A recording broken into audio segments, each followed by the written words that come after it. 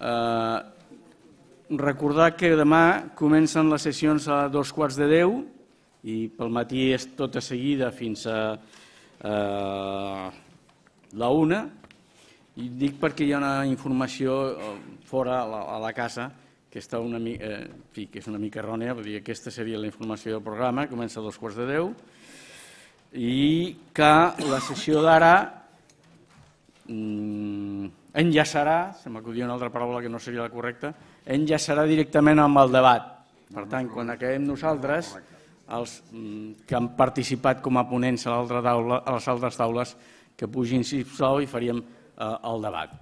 I finalment dir que jo no sóc francès de carreres, el qual és obvi, eh, lamentablement per vosaltres o per, per vostès, perquè eh, quan vam pensar en aquesta taula la vam pensar amb una petita malícia, eh, incloent en Francesc de Carreras, que té la, una coneguda bispolèmica com a moderador, eh, estimulador. Bé, lamentablement, per raons personals, el, el no ha pogut ser-hi i aquí com a membre de l'organització m'ha tocat assumir el que no estava previst, amb la qual em limitaré a fer de moderador i donar la paraula mm, i en tot cas recordar els temps que queden. Introduint una petita broma que me l'ha suggerit el Pere Vilanova, diu que som estrats geològics. Bueno, allà ell, però en tot cas li recordaré que hi ha diferents materials geològics, són dels meus estudis, hi ha roques sedimentàries, metamòrfiques, al·luvió i eruptives. Eh? I per tant, que no es quedi tan tranquil pensant que és material geològic perquè poden ser diferents. I en tot cas, nosaltres vam pensar dedicar eh, una sessió específica al tema del debat sobre catalanisme i revolució burgesa perquè consideraven que entre les activitats eruptives geològiques o no d'en Jordi Soltura segur que hi era aquesta. I que per tant es podia singularitzar eh, el que va ser aquí en el meu record que és més curt d'altres membres de la taula que són més grans que jo el primer debat cultural polític públic no els que podien tenir eh, en els llocs tancats sinó el que es feia públic, el que podia accedir i que com a debat públic per tant va ser un debat extraordinàriament eh, interpretat, reinterpretat, llegit i deformat. I per tant, eh, pensaven, i fins i tot deformat, pensaven que aquesta era una sessió que podia tenir entitat per ella mateixa. Doncs, dit això, que ha servit perquè ens sentéssim ja tots gairebé, fins i tot l'estat geològic, eh, doncs comencem doncs, per en Borja Riquer, començarà en Borja Riquer i després d'Isidre Moles. Molt bé. Hola, bona tarda. Bé, jo no he conegut a Jordi eh, de tan jove com altres, vaig conèixer a partir dels 60 i tants i sobretot el que recordo són aquells partits de futbol en un dels quals em va trencar una cama amb una entrada brutal que em va fer. Sempre se'n va penedir, però m'ha quedat la cama trencada per una entrada del Jordi, que era per expulsar-lo perquè jugant a futbol era molt temperamental, com amb altres coses. Bé, jo parlaré eh, inicialment en quin context català apareix un llibre com aquest, Catalanisme i Revolució Burgesa, és a dir, per què escriu aquest llibre, crec jo. També em referiré als plantejaments que llavors tenia el SUC sobre el que s'anomenava el problema nacional català. Parlaré també del caràcter i contingut del llibre, de les reaccions provocades llavors, de les matitzacions i rectificacions que el mateix Jordi va fer posteriorment altres edicions i faré una petita avaluació. Suposo que després en eh, l'Isidre, que va viure molt de prop la polèmica i fins i tot va participar en un article Serrador famós, suposo que entrarà més en el tema concret del famós debat. Jo penso que el llibre, l'interès de Jordi per fer un llibre com aquest, s'ha d'emmarcar també en la situació catalana de començaments dels 60 fins al 66, que és quan ho escriu.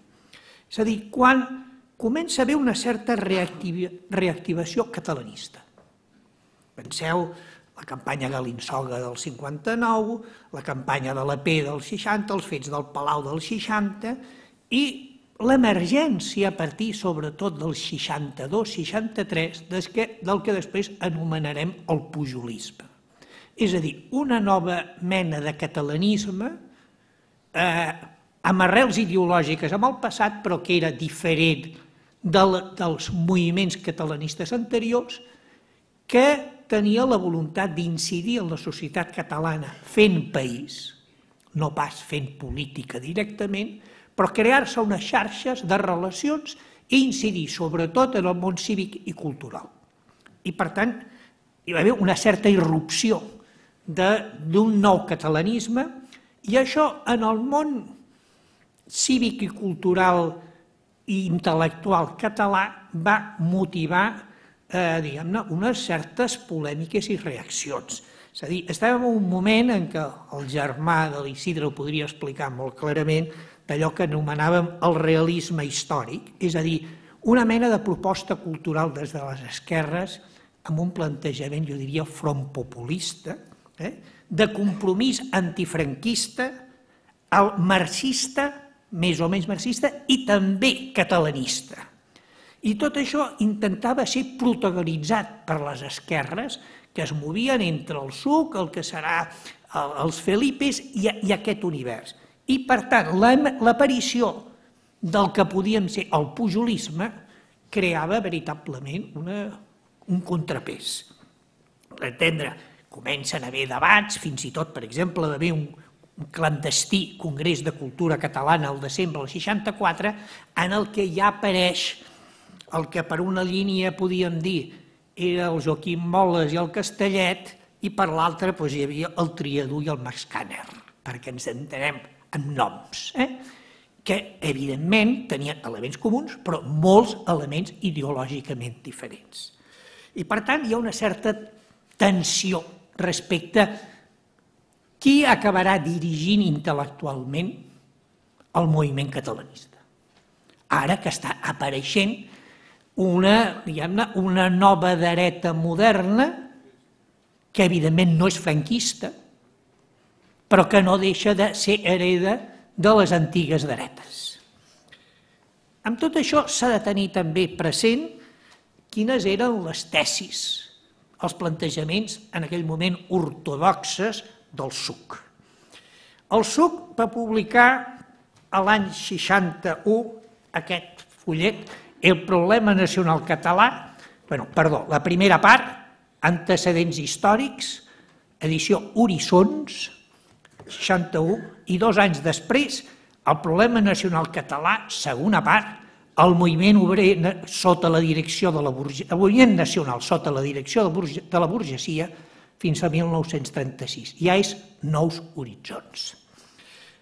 Això és fruit d'una comissió que va presidir Pere Ardiaca, acompanyat de Gaspar Aribau, que és Gabriel Arrom, amb participació de gent jove, de quadros de l'interior, no gent de la generació de la guerra, com eren Ardiaca i Arrom, sinó gent com el Jordi Soler, el Francesc Vicenç, historiadors com Josep Fontana, Josep Termes, també col·labora Manuel Sacristan i també fins i tot fa una lectura Pierre Vilar, des de París. La versió final, per això, la fa l'Ardiaca, i es nota. El que ens interessa és el, el, el plantejament bàsic. El plantejament és, de fet, les tesis de Joaquín Maurín sense dir-ho. Les tesis que havia divulgat als anys 30 Joaquín Maurín de que en la història del nacionalisme català hi havia tres fases una primera sota la direcció de la gran burgesia, que era la Lliga, que entrava en crisi l'any 1917, una segona fase sota la direcció de la mitjana i petita burgesia, Esquerra Republicana, que això s'esgotava al 36 i calia que muntar la tercera fase sota la direcció del proletariat que ja havia tingut un protagonisme claríssim en la guerra. I per tant es deia molt clarament en aquest fullet, el segon, ja diu coses com aquestes. La burgesia catalana frustrada perquè s'havia quedat a mig camí entre l'estructura capitalista i l'oligarquia terratinent d'origen feudal espanyol. És a dir, hi ha el tema de burgesia frustrada per no haver pogut fer una revolució ja apareix aquí. Aquest és un, una publicació d'un marxisme força doctrinari, catequístic i en alguns casos bastant tronat. Eh, veu de la... és lògic, per entendre'ns, de, de, la, de la concepció de Stalin sobre la nació i dels plantejaments leninistes sobre els moviments nacionals. I, sobretot, sense dir-ho, evidentment, de coses del Maurini i de Nin dels anys 30, sobre el proletariat dirigint els moviments d'alliberament nacional. Això no es podia citar, només faltaria el suc citar a Nin i Maurín, però de fet era clarament la transcripció d'això. I també algunes coses, jo diria, del Comorera. Per exemple, l'obsessió de que a Espanya estava, encara existia una mena de poder semifeudal. S'insisteix diverses vegades de que a l'Espanya del segle XX encara hi ha elements semifeudals.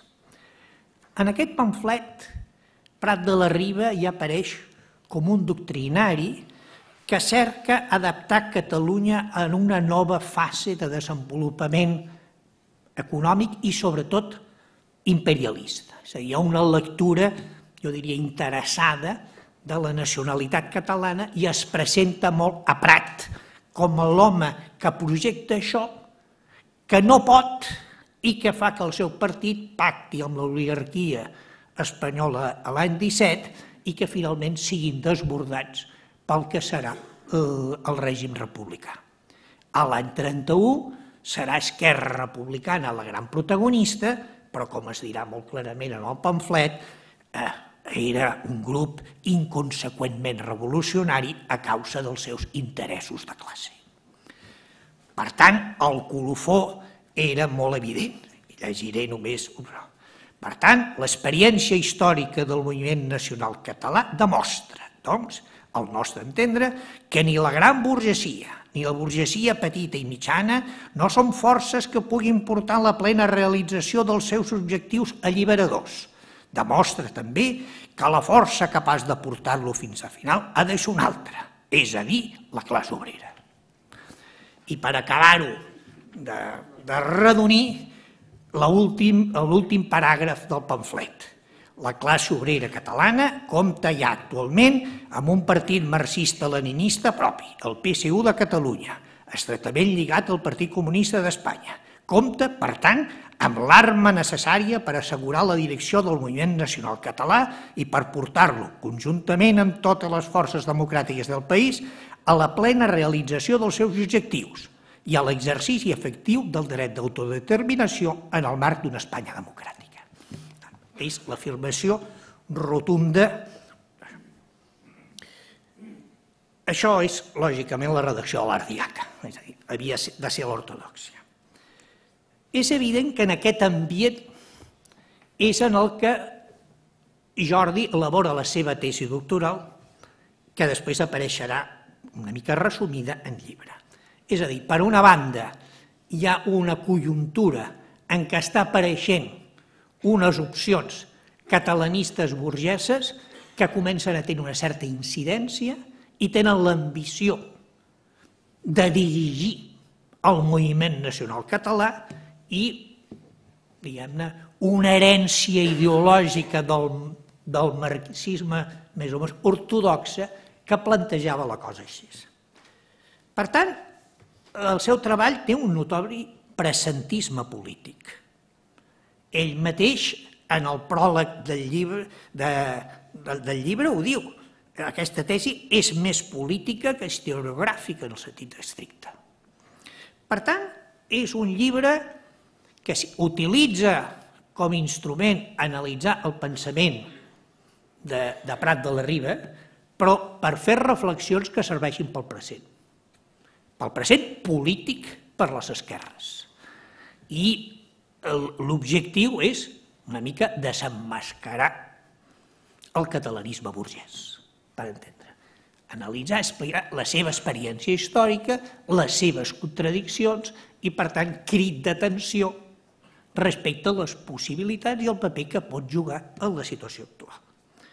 Per tant, hi ha algunes afirmacions d'aquí que pràcticament apareixen allà, amb moltes més coses, evidentment. Coses com afirmacions, només la classe obrera pot encapçalar el bloc històric capaç de resoldre efectiva i definitivament la qüestió en un marc d'una solució per tot Espanya, és, diguem-ne, és fill d'això. Hi ha dos elements, penso jo, que, que, que intervenen també, que és la nova realitat social catalana amb la presència de la població emigrada els darrers anys. És a dir, això ha creat un problema nou. Bona part de la classe obrera, i sobretot de la classe obrera de fàbrica, no és nascuda a Catalunya, ni és de cultura i llengua catalana, i per tant és susceptible de ser influïda per forces, diguem-ne, fins i tot anticatalanistes. I un partit que vol, sobretot, organitzar i dirigir la classe obrera, es troba en que ha de tenir aquesta sensibilitat peculiar per veure com planteja el problema nacional en aquests sectors que, en bona part per culpa del franquisme, difícilment poden haver assumit una identitat catalana. Això, juntament amb aquest perill, aquesta nova burgesia capitalista representada pel pujolisme, que ja té un banc i tota una sèrie de, de sectors en els quals està creant una infraestructura cultural i propagandística. Per tant, és un llibre que s'ha d'emmarcar en la lluita antifranquista, clarament, que hi ha en aquest moment i en les tensions entre les diferents, podríem dir, eh, visions o tendències. En funció d'això, Jordi elabora una tesi, jo diria, eh, molt directista.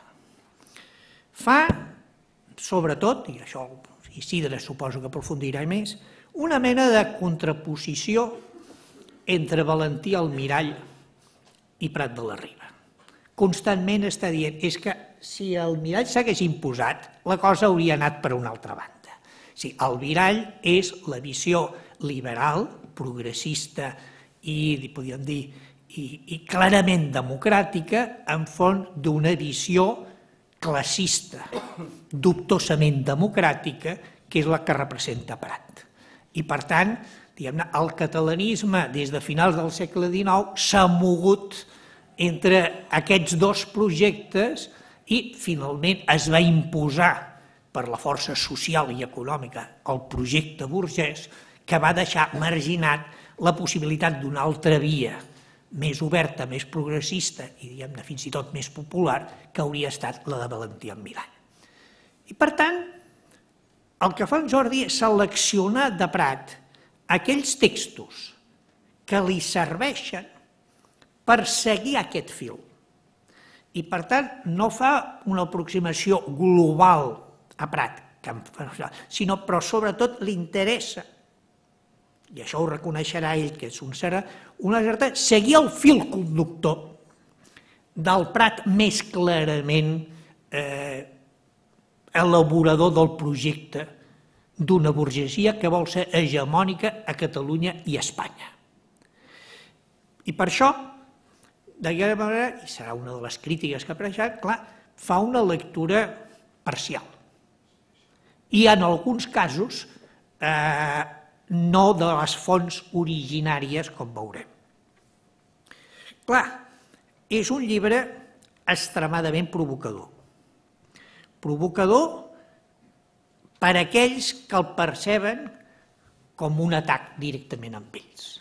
I això és el que provocarà les grans reaccions. És provocador perquè és un llibre, sobretot en la primera edició, que està, jo diria, massa farcit de doctrinarisme marxista. Això, llegit pels no marxistes, és evident que els hi sembla un pamflet.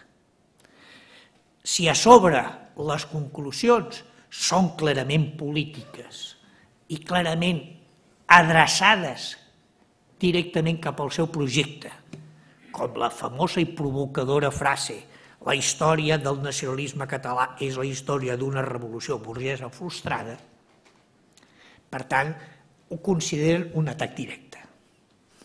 I per tant, les reaccions seran, en primer lloc, reaccions polítiques. Algunes reaccions són més subtils, altres no. Una reacció primera d'aquells sectors que consideren que Prat és intocable eh? i que s'ha fet una lectura esbiaixada de Prat. A sobre, que tractar aquestes coses així pel franquisme és imprudent i que, per tant, allò, els trats bruts es netegen a casa i amagat. Per tant, no podem fer un debat sobre el caràcter del catalanisme en un marc dictatorial en el que no ens permet manifestar-nos políticament de forma seriosa. Per tant, hi ha aquestes actituds pacates de dir això no es pot fer en aquest context. Seria un debat per no fer-ho públic, perquè això és fer el joc al franquisme. Perquè aquí el que apareixem són els catalanistes d'esquerres i dretes barallant-nos. I d'això qui s'aprofita és el règim franquista. Hi hauran crítiques més subtils, més, més, més aprofundides, dient atenció que aquí pot haver una lectura esbiaixada de plantejar que el catalanisme és cosa bàsicament de la burgesia i que, per tant, aquesta imatge, que no respon a la realitat, pot, segons quina lectura es faci, treure's com a conclusió.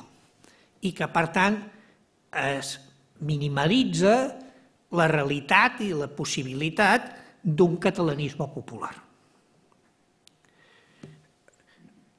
El llibre va provocar la polèmica, suposo que l'Isidre parlarà més, i sobretot va tenir notable èxit, però jo diria més èxit en l'edició castellana que en la catalana. De l'edició castellana se'n va fer dues edicions, una immediatament, al 69, i una altra, en la mateixa hora, però és diferent, al 74. Totes dues porten llargs pròlegs del Jordi en què situa cada edició en el seu moment. Eh? Aquest llibre es va convertir per les esquerres espanyoles del món del marxisme en la tesi canònica sobre el catalanisme. I sobretot alguns sectors van fer unes lectures simplificadores que jo diria que encara avui en dia duren i es noten. Ja vaig acabant. En el, a l'edició, primera edició castellana, a l'octubre del 69, Jordi fa una relectura crítica del llibre en català. A la segona edició, al març del 74, encara més. I la tercera crítica que li conec apareix sobretot a taula de canvi, el número 1 en l'article aquest que es titula La qüestió de l'Estat i el concepte de nacionalitat, que indirectament és agafar les idees del llibre i tornar-les a plantejar. Mirant en perspectiva els, els, tots aquests textos, eh, Jordi reconeix que tal vegada va fer un plantejament polític massa cartesià, eh? és a dir, massa esquemàtic, eh, i que al ser excessivament didàctic va simplificar masses les coses, que eren molt més complexes i molt més subtils. I sobretot diu que era a vegades massa estructuralista, i per tant un esquema perquè s'entengués que funcionava molt bé quan tots sabem que la història és bastant més complexa que això. I per altra banda també reconec una cosa, però que no és defecte d'ell, sinó defecte del nivell, podríem dir, de la historiografia del moment. És que, clar, ell fa, en la meva opinió, ús d'un concepte de revolució burgesa que és un concepte ideològic polític i no és un concepte històric pel cas espanyol. En l'última eh, edició i en taula de canvi, clar, eh, Jordi Soler ja ha llegit el que han publicat tota una sèrie d'historiadors a posteriori. Ha sortit el llibre de Fontana, La quiebra de, de, de la monarquia absoluta, el llibre de Jordi Nadal sobre el fracàs de la revolució industrial a Espanya, les coses d'Artola sobre l'estat liberal, les coses de Tomàs i Valiente sobre la relació entre el nou estat liberal i els grups socials, i tot això li forneix d'uns elements d'informació històrica que serveixen per matitzar molt el concepte de revolució burgesa, tot allò de feudal i feudal desapareix, com és lògic, perquè hi ha una concepció, o diguem una confusió doctrinal notable. Per què rectifica, diria jo? no és normal que un autor rectifiqui i matitzi les seves obres.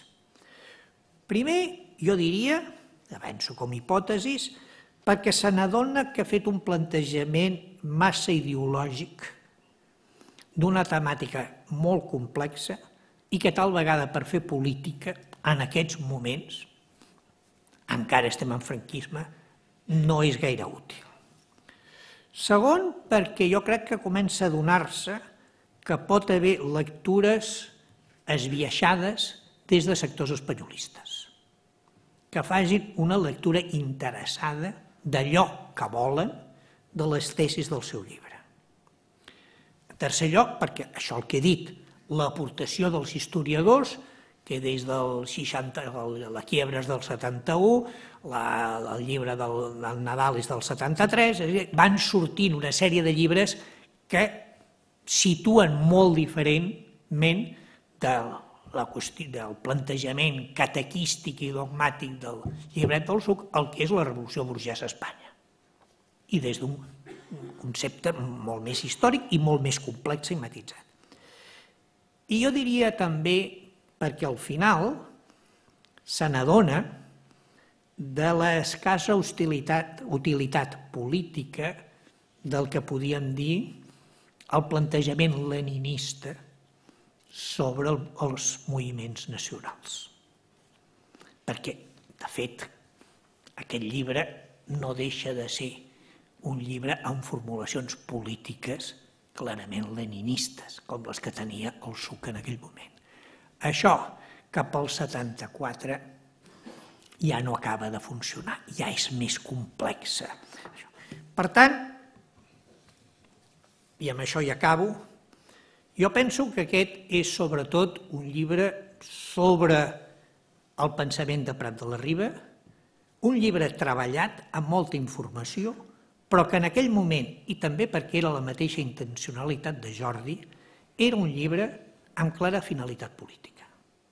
Va crear i va despertar expectatives i un gran debat.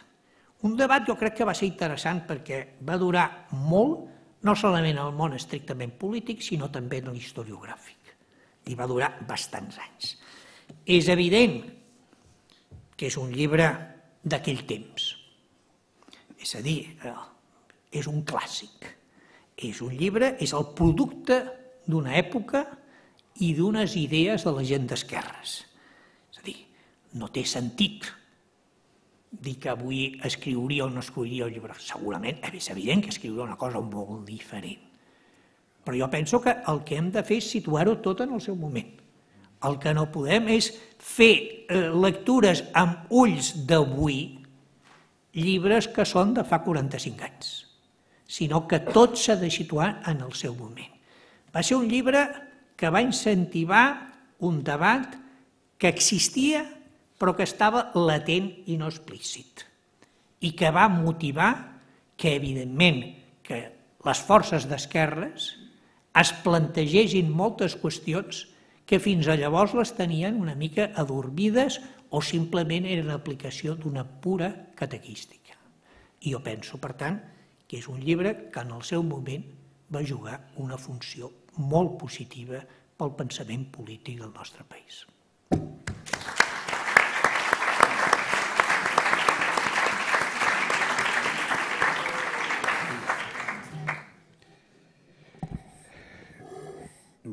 Bona tarda. Eh, malgrat els reiterats anuncis sobre el que jo diré, eh, espero no fer cas i, per tant, no dir res del que ho diré, sinó dir una altra cosa. Eh, jo el que faré serà un tractament eh, mm, del llibre, per dir manera, de la peça escrita llibre, qualsevol d'aquests, m'és igual, perquè, eh, o de la tesi, diguem, eh, que tendirà a definir el sentit que jo li trobo en l'ús per primera vegada aquí d'una cosa que potser no us agrada, que és el, el marxisme eh, estructuralista abans de la relació amb Polanzes, abans de tot això d'aquí, el llibre aquest d'aquí respon, intentaré dir-ho, i citar l'autor a més a més, eh, que era un autor important a França en el seu moment. Mm? I justament ho fa perquè el que fa, intenta fer, i aquest és l'altre plantejament, és una cosa sobre història intel·lectual, sobre l'anàlisi intel·lectual. I també faré les altres referències que corresponen del context sobre el qual ell actua per fer, crec jo, el que va fer.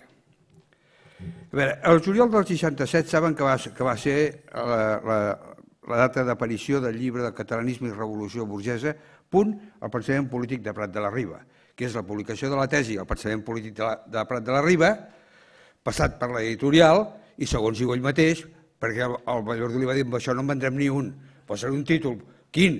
Diu, catalanisme i revolució burgesa, que per dintre parles de les dues coses. Per tant, el títol que després ha quedat és un títol eh, no pensat inicialment, sinó pensat al final per algú que li diu escolta, jo me l'he llegit, això és molt... però amb aquest títol no en vendrà ni un. Això al Prat de la Riba no es ven. I fa cas, el títol guanya, guanya la portada i després guanya ja la definició al conjunt d'una tesi que era que és la mateixa, és el mateix text, el pensament polític de Prat de la Riba. I surt l'any 67. Per què surt l'any 67? Home, perquè l'ha acabat l'any anterior i a més a més necessita tenir una cosa per poder apuntar-la a la vida universitària.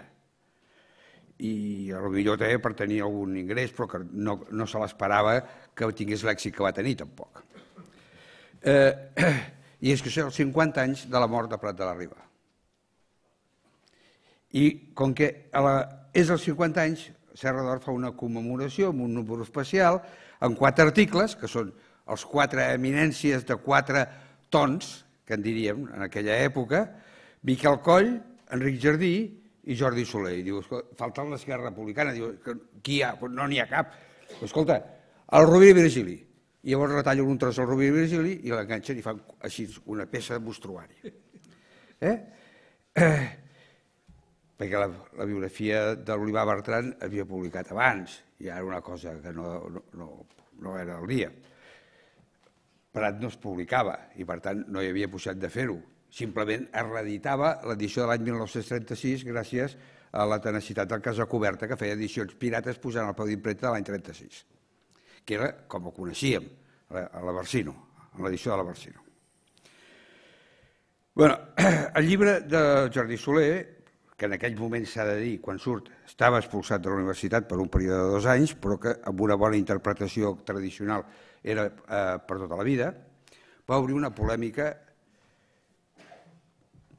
forta. La primera polèmica pública.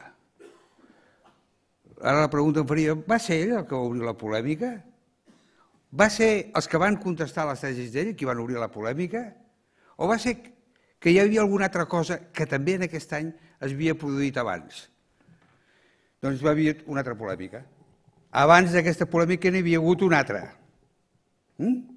Era la polèmica del Joan Oliver, Pere IV en poesia, amb Ramon de Badal, sobre si el catalanisme era cosa del poble o només era una cosa dels sectors il·lustrats i moderats. I això havia passat uns mesos abans. Havia passat just amb l'aparició del llibre. I, per tant, és una polèmica que va repetida sobre una altra, és una entrevista, penso que és del Porcel amb el, amb el Raimon de Badal, que li contesta el Joan Oliver i que després torna, i després torna a contestar a, a la Badal. I que la tesi de la Badal és molt senzill. Diu, escolti, desenganyis, l'esquerra i el catalanisme no tenen res que fer. Perquè el catalanisme o és de, de dreta, és conservador, moderat, diguem, mm, anava a dir, porta corbata, eh? o no hi ha catalanisme. L'altre és una altra cosa, no té res que veure. I l'altre deia, o el, català, o el poble és catalanista, o el catalanisme no arribarà a, a, a reeixir. Està, és a aquest nivell, eh? Diem, la, la polèmica, però és una polèmica que dura tres... Hi ha tres intervencions a Serra d'Or, també. O sigui, el número extraordinari, la polèmica aquesta que surt per atzar i es col·loca, però que no té més repercussió, i després l'aparició del llibre del Jordi Soler, que el mes de gener del 68 se li atorga el Premi a la Crítica al millor llibre aparegut sobre Sánchez, penso, o sobre l'any anterior. Tota pàgina. El 5. El, el, el 5 del jurat, Castellet, Fuster, Boles, Joaquim, Triadú i Marfany, Triadú i Marfany, però Triadú, atorguen els premis, la novel·la, el no sé què, i li donen aquest en el Jordi Soler. El mateix número en què surt el, els tres articles sobre el llibre, que és una forma de compensar tot, perquè aquí les coses també es compensaven fins a un cert punt. Eh? Sí. En aquest, article, en aquest número, que és gener del 68, jo vaig publicar-hi un article. L'article m'havien demanat pel llibre, que era la ressenya del llibre. Però jo havia entregat al setembre. Però va haver d'esperar perquè hi havia hagut reaccions de gent, bueno, me van fer esperar, que, eh, que era crítica i que tenia que recollir-se ja que hi havia una posició crítica però favorable, una ressenya, diríem, una ressenya elogiosa més aviat. I, i tenia que haver-hi, diguem, uns que no, amb això no en tenien prou i que volien fer-ho. Qui, qui hi havia? Després vaig, el més important, el primer que va sortir va ser el fill, l'Enric Prat de la Riba i Dax, que va fer un article defensant la memòria del pare, el sentit de l'obra de govern, etc. Però aquest el va entregar tot de pressa si no hagués sortit abans. Eh, el, el que passa que el Benet era el que tenia que fer l'article més important. I aquest article, eh, que era més aviat, no, diguem, no era una defensa del, de, del Prat com era la del fill, sinó era una apassionada desqualificació, una estripada i utilitzava arguments de dir que aquest llibre històricament és una porqueria per dir que aquest llibre és contrari a Catalunya, per dir-ho per dir en, en plata. Eh? Després de gener la cosa no acaba, eh? No és que fa una, una polèmica, no és un dia que escriuen tres i parlen de no sé què, sinó que durant tot el mes fins a l'estiu, durant cada mes, cada número, s'espaien unes cartes al director, unes a favor i unes en contra alguns noms significatius. Jo només recordo, el, si algun historiador a la sala ho pot eh, comprovar, els noms, perquè em penso que n'hi ha algun que són més coneguts després, o algun que hi havia un que es deia, no és igual, no me'n recordo, però n'hi havia un que sí, que és Josep de Calassans, Serra Ràfols. I la gent es defineix a favor de la Lliga o en contra de la Lliga.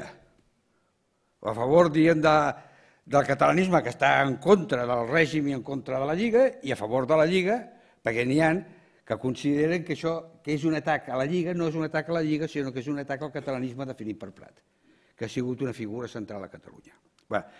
Per tant, la polèmica engega tot l'any 68. A l'any 68 acaba l'expulsió, també s'ha produït el Festival de París, també s'ha de dir, acaba eh, l'expulsió i tornem, eh, Jordi Soler torna a la universitat i aleshores, jo, que tenia, portava una col·lecció del qual va sortir un número que més, de llibres, només va sortir un número, però que no... Eh, diem, ni tan sols el vaig encarregar jo aquest, el segon sí el vaig encarregar, eh, li vaig encarregar al Soletura que fes un llibre sobre el mirall. Perquè en el fons ell fa un plantejament, com tu has dit molt bé, sobre el Prat, però sempre posa com a contrapunt una altra possibilitat que havia existit. Llavors, doncs, Agafa els dos, ja un ja el tens, fes l'altre. Tens un pròleg, pot ser un pròleg llarg, per editar en castellà el catalanisme, el catalanisme. La, es va portar el llibre censura, censura no el va deixar passat, per tant, morta la cuca, morta el verí, no es va escriure. Però ell havia treballat ja i el tenia gairebé escrit. I aleshores, a l'any 70, el publica a la revista jurídica de Catalunya, número extraordinari, que ningú ha mirat mai, perquè ningú, cap historiador mira la revista jurídica de Catalunya. Però aquí hi ha dos articles d'història, un meu sobre l'Unió Catalanista i, i, un d'ell sobre l'almirall. I la conseqüència d'això és l'aparició d'un llibre diferent, el 74, que és l'ideari de Valentí Almirall, a l'antologia catalana que dirigia el meu germà. Tot això d'aquí forma un bloc. I aquest bloc el té aquí dintre quan escriu la tesi. En el fons, si hagués fet un tesi potser diferent, hagués fet l'almirall, però el, eh, li guanyava més la polèmica que la derivació transformadora de l'anterior. I segurament era més viu, jo crec que era mort, però em penso va morir el 17, i ja, però aleshores políticament era mort a partir del 17. Però diguem, va seguir mantenint el record molt, a, alguna gent sobre ell. Les visits del llibre no acaben aquí, perquè torna a la universitat, es posa amb això de l'almirall, li proposen traduir el llibre al castellà, s'hi posa, no sé si el va traduir ell o no, segurament sí, el reescriu, el refà, l'enriqueix, explicita implícits, sense els quals el llibre primer no s'entén, per exemple, temes sobre la revolució burgesa, que m'hi referiré després, i matisa algunes coses que li havien dit que eren coses eh, òbvies eh, que accepta sense cap dificultat, i és ella en diu eh, eh, que, reconeixia, que reconeixia que havia exagerat la sincronia del corte estructural, diu en castellà, que era una manera de dir eh, que, que, que barrejava textos de l'any 90 amb textos de l'any 10 o de l'any 6, sense tenir en compte que són dos contextos diferents i que, per tant, encara que s'han de dir, no, exactament no engaixen sempre directament. I, per tant, que divideix tot rígidament per temes, que és el mateix error que podríem fer en el cas del Mirall, que passa que el Mirall va escriure molt pocs anys i que jo vaig cometre, diria, amb un llibre molt útil, amb el Pi Margall, fer un ideari perquè la gent sapia què deia, però el que passa és que sobre uns temes en parla una època i uns temes l'altra, i si no dates bé les èpoques en què parla, portes una concepció que és una, una persona, o són unes persones que ho tenen tot al cap al mateix temps, i no és veritat. Perquè els textos són d'èpoques diferents, i més en el cas de Prat, que eren una, una barreja de, de textos de temps diferents que ell va donar com a bons. Per tant, entre octubre del 68 i octubre del 69 fa la versió castellana, la publica Quadernos per al diàleg al 80 i confessa allà que no ha tingut que introduir modificacions essencials en l'enfoc global del problema ni a les, meves, ni a les conclusions. Però s'hi ha donat unes pistes importants dels implícits que hi havia teòrics que estaven continguts en l'anterior. Ell eh, li agradava molt dir el que, el que va deia, eh, que l'obra és més política que historiogràfica en sentit estricte. És discutible. Però a ell això li agradava. Per què? Perquè el, segurament la finalitat subjectiva, i no hem de creure mai la, que l'important és el que vol fer l'autor, sinó allò que fa, eh, ell volia criticar una possible direcció espiritual del poble de Catalunya. Ho dic així perquè quedi més clar diguem, la connexió meva amb Prat. Eh? I ho reconeix.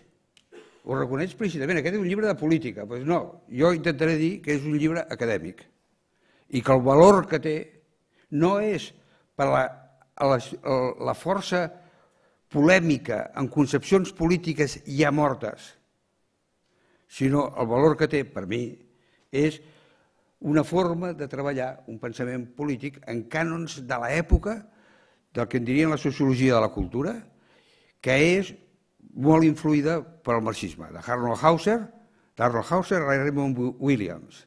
Eh? I el que intentaré dir-vos ara. És un llibre sobre un autor. Naturalment un autor important, un autor que parla de política, i feta en claretat, sense cap problema, dins, la, dins el corrent marxista i sense gaire cites de marxistes, cosa inusual també en els marxistes. És, eh, està inserit en un corrent renovador francès, bàsicament francès, però també italià. Què havia sortit aleshores? A tot Anglaterra, eh, a França i a Itàlia, surt el tema d'estudiar la superestructura. Fins ara només parlava de la infraestructura, les forces productives, i alguns parlaven de l'Estat. Però s'ha de parlar de la superestructura ideològica.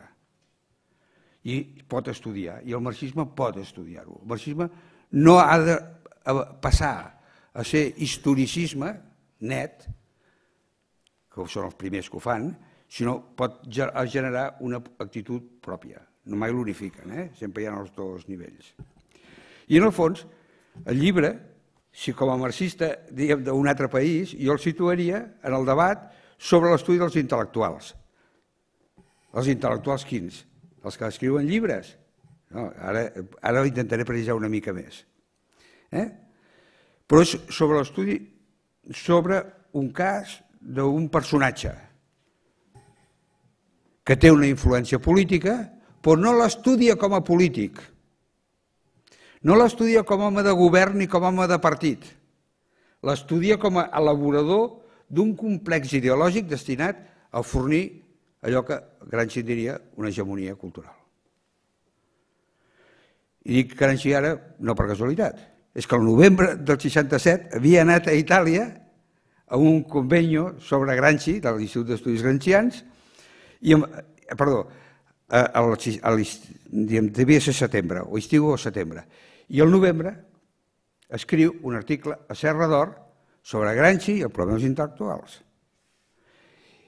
I recordem que havia editat, i havia sortit editat, la traducció eh, de cultura i literatura. I per tant, en l'obra jo hi veig i llegeixo perquè jo també interpreto lliurement, no tinc per què subjectar-me als cànons de les polèmiques que fan d'altres, que ell hi batega en el seu interior la distinció entre l'intel·lectual orgànic, és a dir, aquell que gaudeix a la continu... aquell que expressa i actua en lligam amb una classe, i l'intel·lectual tradicional, que és aquell que gaudeix de continuïtat i de desconnexió moltes vegades d'un sector social, perquè té continuïtat més enllà del temps, i del qual cada classe, o ca, els intel·lectuals de cada classe, pretenen, intenten eh, assimilar-ne aspectes. D'una manera, uns són intel·lectuals de classe i uns altres són intel·lectuals una mica deslligats del món, però que poden ser aprofitats per tots els sectors socials. Ho dic així, ja sé que no és molt precís, però jo ja no, estic amb, ja no vaig a oposicions. Per tant, jo crec que l'enfoc que adopta, no sé si per atzar o per consciència, és una, un enfoc nou aquí. Perquè intenta fer una cosa que a França és normal, que a Itàlia no és normal però en fan. Que a Anglaterra ho fan, ho fan els novel·listes i que hi ha tota una, una disciplina que durant unes èpoques domina molt, que ara s'ha perdut, està passada de moda, que és la sociologia de la cultura. Per tant, el llibre no és un llibre d'història, no és un llibre, un pamfleto de política. Pot tenir de tot. Però el llibre jo crec que se situa en el que en l'acadèmia en dirien història del pensament polític aquí. És a dir, en el, el camp del pensament, dels estudis sobre el pensament. Per tant, diferent de la història política o de l'estudi de partits. I no és gens estranyar perquè el Jordi Soler no era una persona d'arxius. La persona diríem que s'hi posava, pst, anava a raig i després de tocar aquí, falta això, aquí falta allò. Ara, la seva aproximació és conscientment un punt de vista. I és un punt de vista amb partit pres, que estudia algú que també té un partit pres, per demostrar que aquesta és una concepció d'un altre partit pres i que és un intel·lectual orgànic de la burgesia. I, per tant, es planteja què diu sobre la revolució burgesa, que el seu projecte és el projecte de revolució burgesa. Pues ara m'hi referiré. Per tant, és un estil d'anàlisi. Podria haver fet d'altres, igualment legítims, perquè no és l'únic estil possible per estudiar un pensament, ni per un marxista. Eh? La, per exemple, podria haver fet la relació amb la pràctica política, més a prop de la biografia política. O podia haver, o en connexió directa, ho podia haver fet en la relació amb els precedents. Per exemple, agafar els autors anteriors que han influït o que no han influït en ell, però que formen part del seu món. Podia haver fet una cosa coetània i, per tant, fer-ho en el món contemporani. O podia haver-ho fet, com ell fa, la relació d'un complex teòric o doctrinal amb les classes i els processos socials del país on funciona el personatge. Llavors, clar, aquí és obligat dir que un altre nom que no he dit, que és el més antic de tots aquests aquí, dins del marxisme, que és Lukács. Però és que, cosa que el Lucas ho va fer tota la seva vida. El millor, potser l'únic text dolent des del meu punt de vista en aquest aspecte és el Lenin, que és més un pamflet polític, però tot que que fa són temes sobre què és el que sabia. Estudis de superestructura intel·lectual o el plantejament de Gramsci. Més aviat connectat segurament amb l'historicisme, eh? amb l'historicisme com a corrent filosòfic, no com a, com a història menuda.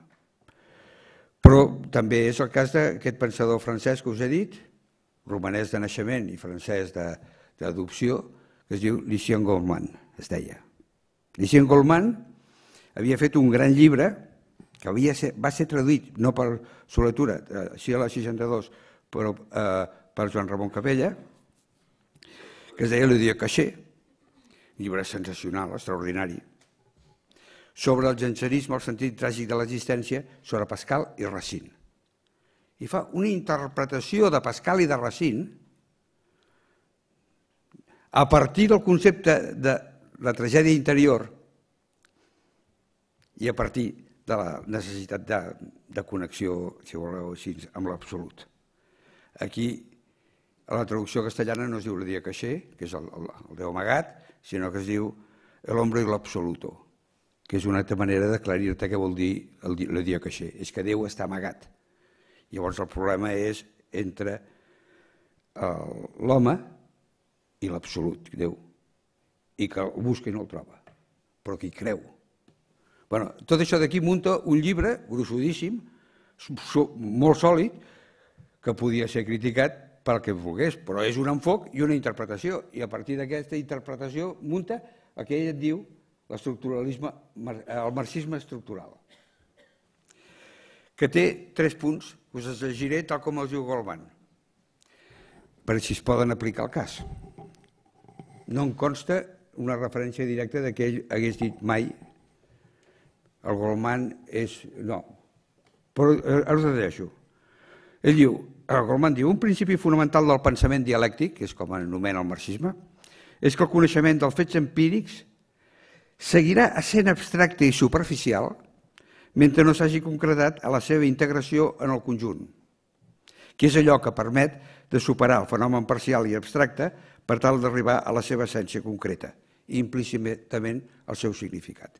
No hi ha fets concrets si no s'insereixen en el context, que és el que li dona el significat.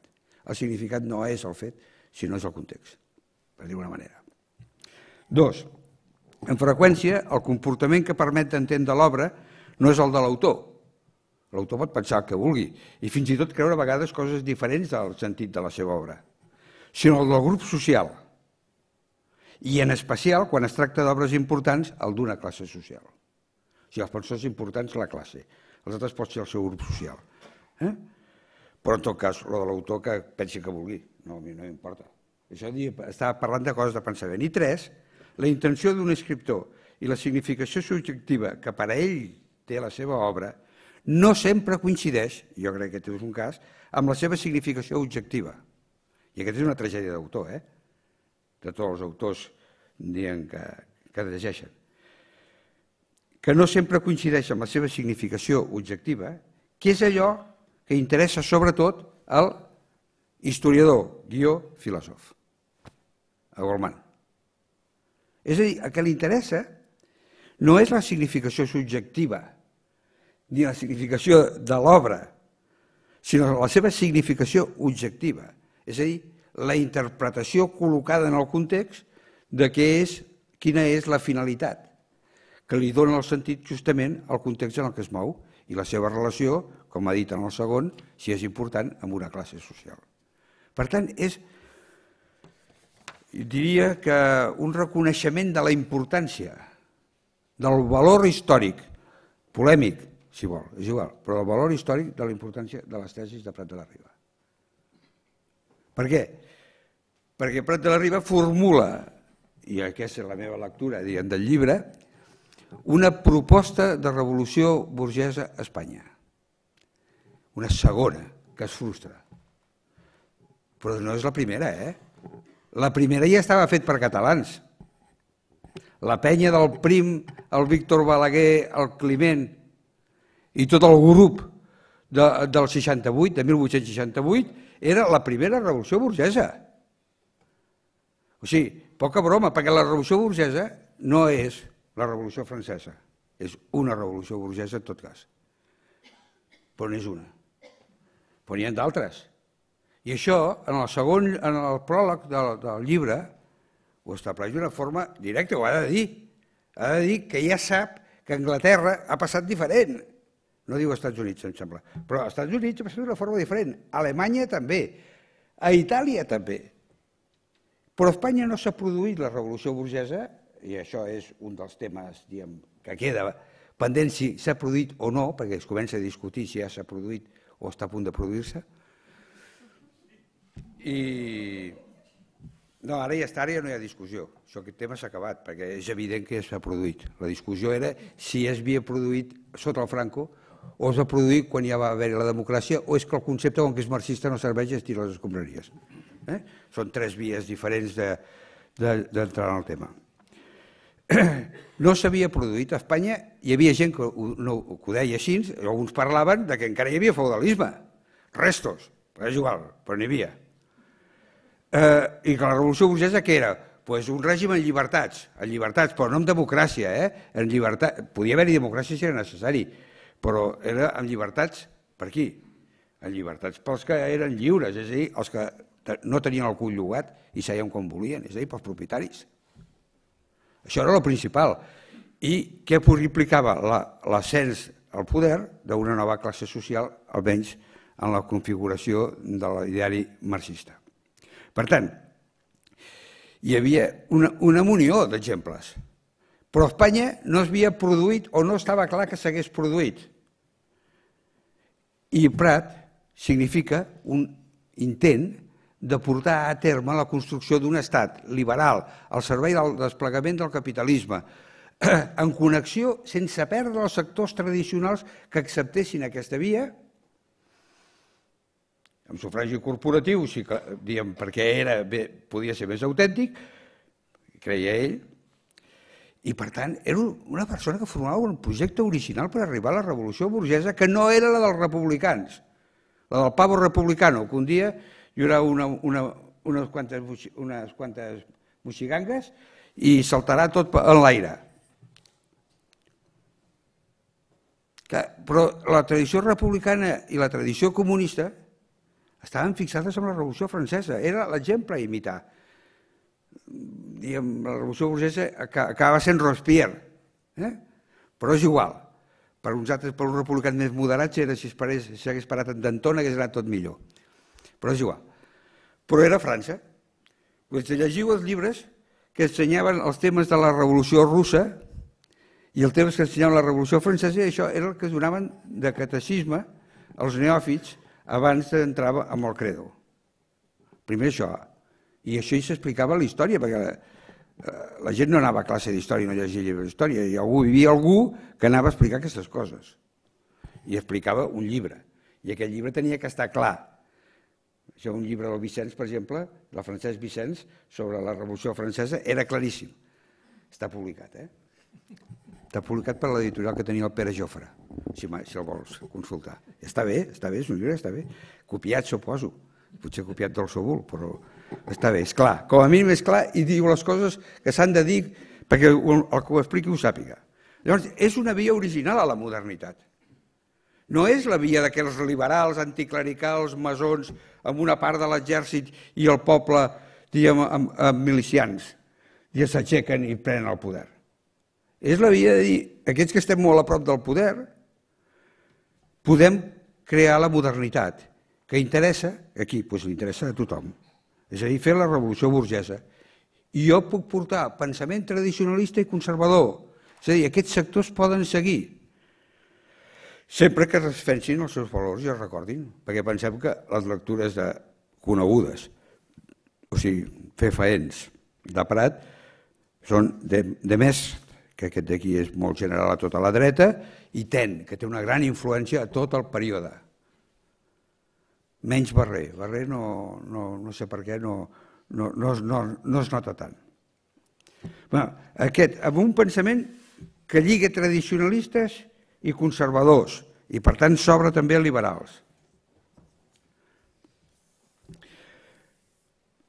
Amb una nacionalitat puixent, amb força, volent la plenitud de poder i l'autonomia com a self-government.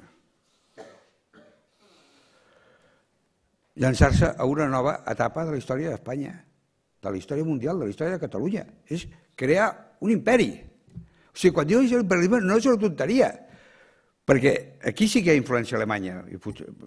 La de Herder jo crec que és d'orella. Eh, és que Alemanya ho han fet. Alemanya s'ha creat una revolució burgesa des d'un estat per una minoria. O sigui, i ha fet un imperi. Bé, I què ha fet aquest imperi? Doncs ha permès el desenvolupament industrial de tota la conca del Ruhr i donat un mercat a la conca del Ruhr i els altres els ha donat feina. O sigui, no era una quimera. Que, que, si es pot ser quimera lo del el mapa aquell de, del manifest de la Lliga de Catalunya i l'Espanya Gran. Mm? Allò de tot l'hemisferi amb totes les possessions d'Hispanoamèrica. Podia ser, podia ser, però era una altra via possible. El més important és que l'imperialisme significa tenir iniciativa, projecte i complex ideològic, diríem, i doctrina. I aquí estava una de les contradiccions. A lo millor, però això jo no tinc que dir-ho. Però en tot cas, era compatible l'universalisme, l'imperialisme, el nacionalisme, l'autogovern, perquè un estat pot ser un estat federal. Tot el contrari és un estat compost. Això ho diu, diu tranquil·lament el Prat. El Prat no és antifederalista. Eh?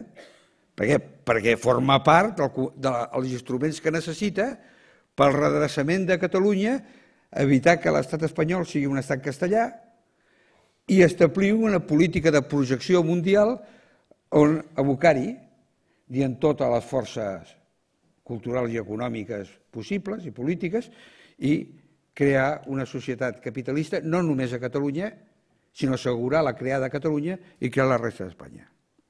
Per tant, si tenim la idea de que la revolució burgesa no és només un fet polític, i aquesta, en l'etapa en què jo en parlava entre un, de l'edició d'un i l'altre, és a dir, en el retorn, quan, estava, quan començava a preparar la versió castellana, o quan acabava l'altra, o sigui, en el 68, aquesta era una idea clara que tenien. No és un tema de llibertats polítiques la revolució burgesa. Pot haver-hi revolució burgesa i no haver-hi llibertats polítiques, més que potser pels, pels que el tenen, però democràcia no és forçós. I aquesta és la tesi en la qual pots interpretar, es pot interpretar, i així es va interpretar algun autor, eh, que la revolució burgesa la va consolidar el, durant el franquisme en els anys finals del franquisme, a partir del 67, 68, amb eh, retrocessos i avenços, eh, flexibilitzant el sistema de, de treball laboral, no donant llibertats, eh, però fent tolerància, negant-se totalment a la democràcia, però establint la base d'un país capitalista. I quan el país capitalista hi existeix amb problemes, i els problemes s'han d'arreglar, hi ha crisis polítiques, doncs es busca una sortida que permeti establir un estat de llibertats. Ara ho explico, no, no és algú que ho tingués al cap, això. Eh? Diguem, la, eh, la consolidació de la revolució burgesa a Espanya d'imposició al capitalisme està dirigida no per la burgesia catalana, sinó que està dirigida per la burgesia basca, fonamentalment financera. Ja està. Per tant, lo de la revolució burgesa és un tema acabat, és un tema històric. L'han d'estudiar els historiadors i saber quin concepte utilitzen, com l'analitzen, quines diferències tenen, si val lo de la classe o ha de ser només les idees o només la butxaca, cadascú s'ho inventarà com voldrà. Però l'objectiu d'intentar discutir, criticar una opció per una possible, un projecte, de, eh, teoria que projecta una revolució burgesa o que es projectaria en una modernització d'Espanya i de Catalunya. Original, a mi em sembla que és una consideració important, diguem, a l'autor, i una valoració molt important pel, pel català, del catalanisme. Perquè ho diu ell, diu, el catalanisme és el més seriós que hi ha hagut en aquest país fa molts anys, eh? O sigui, no és allò que, que el catalanisme, o sigui, el nacionalisme català és una cosa, ha estat una cosa molt important. Ara, el catalanisme és més que el nacionalisme català. I si el, català, i si el nacionalisme català entén que a Catalunya l'important és que la gent sigui catalana i que aquesta societat és plural, el catalanisme serà un element de denominador comú diferenciat però unificador. I aleshores és quan podrà ser hegemònic. I sobre aquesta base és la que jo faig la crítica, jo, Jordi Soler, faig la crítica al concepte de Prat de la Riba. Perquè lo de la teoria dels tres moments faré només un apunt, un apunt d'erudició, perquè en una altra època era molt erudit. Eh, la teoria dels tres de, de, dels estadis del, del senyor Diaca i la comissió aquesta, eh, més, devien escriure més els altres que l'Ardiaca, eh? i coneixent-lo, devia ser algú altre que ho devia escriure. Eh, té un origen en Maurín, absolutament desconegut, o sigui, no els has de condemnar per això, perquè si no n'hi ha a l'infern i es trobaran amb l'Stalin. No l'havien llegit mai. No, no l'havien llegit. No, potser algun d'aquests a Barcelona, potser sí. Potser el Vicenç o el Soletura, però aquests aquí eren els de l'interior, els de l'interior comptaven poc. Eh, els que tenien que escriure els altres que els que deien posaven el cello. Aleshores, no és del Maurín. La tesi no és del Maurín. No, no, aquest és el Lenin. És del Gabriel Alomà, conferència a Barcelona sobre el, el, del catalanisme regionalista, el catalanisme nacionalista de la Lliga al CNR, i l'UFNR, i d'aquest el catalanisme del tercer moment, que en diré catalanisme socialista. Aquest és l'esquema Gabriel Alomà, que està publicat, o sigui, no és un text desconegut, el que passa és que la gent no llegeix de vegades els textos. I segurament, com que aquest anava pel lloc, li anava donant la, els censors amb facilitat, i, i diguem, feia educació obrera, i, i, i, i per tant fotia un munt de conferències, ell, i els que el sentien reproduïen, com jo feia amb els llibres sobre la Revolució Francesa, el que hi havia clar, i era clar, era un esquema clar, doncs tots els altres ho esperaven. I segurament en els Ateneus Obrers aquesta era una idea més o menys existent, que hi havia els burgesos, que després hi havia, ai, que hi havia la Lliga, que eren els burgesos, després venien aquests els, els saltataulets de l'esquerra republicana, bueno, que tenien els rabassaires, que hi havia els rabassaires i això el feien salvar, i que vindria un dia que n'hi haurien uns altres que resoldrien això. I això és el que agafa el BOC primer, que ho agafa del Partit Comunista de Catalunya. Però la base d'això d'aquí, que no van llegir mai, perquè jo crec que no ho va llegir mai el Maurín, això d'aquí, és aquest, i la hipòtesi aquesta que et formulo és perquè hi ha alguna cosa que en els discursos del Salvador Seguí apareix aquesta idea. Passa que se salta la frase intermèdia va de la Lliga la, el, el sindicat. I això d'aquí vol dir que aquesta idea era una idea que existia, que existia entre aquesta gent que feia la història però que no l'escrivia. I el que no l'escrivia, doncs venen els historiadors com tu, o com jo, o com aquell, i passen d'ells. I, i, ve, I ve el moderador i m'acaba d'anunciar que m'ha tocat un cotxe. doncs molt bé, eh, jo crec que és un gran llibre, que tenia defectes, és evident, que tenia crítiques, que ell les va acceptar sempre les crítiques que no fossin polèmica ideològica i les, les va, va modificar coses eh, que li va dir gent com a crítica, però que sense crítica sense acritud, que deia aquell, i, i que és un, un llibre fet amb una gran ambició acadèmica, molt més del que es pensa, i possiblement molt més del que es pensava ell, que potser pensava més en un llibre de polèmica i de direcció ideològica que en un llibre que li permetia obrir-se en el món acadèmic amb solidesa, no sé si amb el suficient eh, èxit, perquè va ser molt criticat, molt durament criticat, injustament criticat, perquè jo crec que no el van entendre. Perquè tothom volia que fessin el llibre que volien fer ells. Pues cadascú ha d'escriure el seu llibre. I aquest era el llibre que podia escriure el Soletura. Els altres podien haver escrit un llibre sobre el Prat de la Riba, que no va haver un llibre sobre el Prat de la Riba eh, president de Catalunya fins cinc anys després pel Jardí. O sigui, que van tenir que esperar cinc anys que es fes un llibre, que és un llibre no extraordinari, però és un llibre que està bé, eh? és un llibre... Però bueno, cadascú fa el seu, el seu llibre, i aquest llibre jo crec que és un llibre que és el prestigi d'un intel·lectual. És el prestigi d'un intel·lectual que estudia un intel·lectual i o estudia un polític com a intel·lectual. I ell, que és un polític, com a intel·lectual, estudia a un altre polític que també era un intel·lectual. I que el valora. I li dona el lloc, un lloc molt rellevant en la seva pròpia escala de valors respecte a la possibilitat d'èxit per criticar-lo i a la possibilitat de força per convèncer i que al mateix temps el planteja com un home molt original i per tant jo crec que és històricament un gran llibre. No sé d'història, no sé de si de ciència política, que dec tenir de ciència política, o de què, però és un gran llibre de pensament, d'anàlisi de pensament.